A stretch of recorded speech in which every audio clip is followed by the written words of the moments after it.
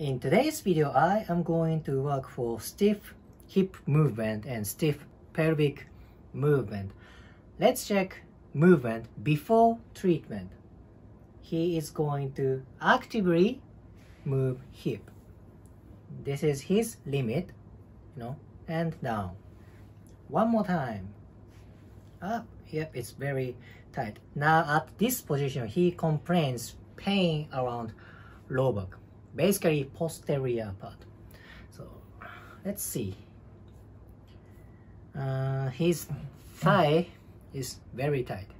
Iliotibial band. I am doing myofascial release for iliotibial band. This place can be very very intense. Like literally very intense Yep. Did you see his voice? It's very intense. I mean, did you hear his voice?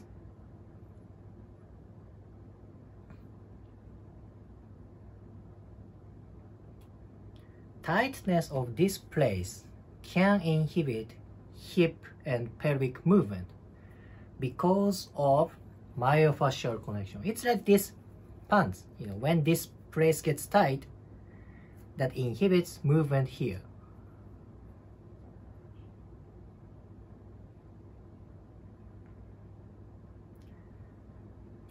Amazingly intense. Good.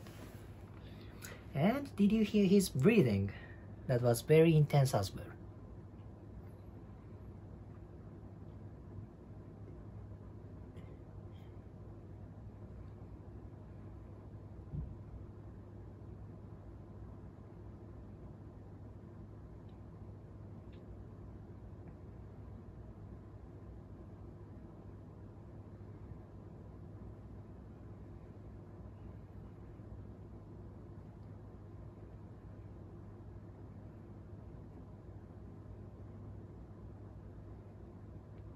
Nice and low back uh, it's very tight. My right hand is going to work on low back my left elbow is on hip muscle.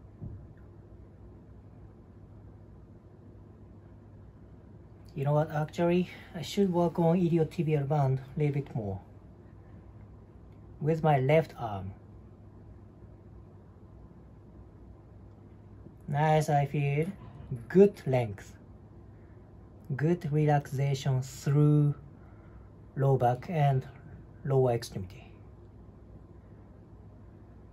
I see his face is literally amazingly intense.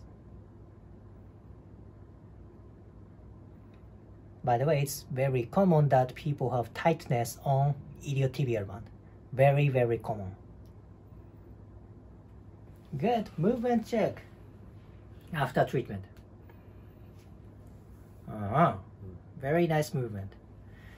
One more time. Very good improvement.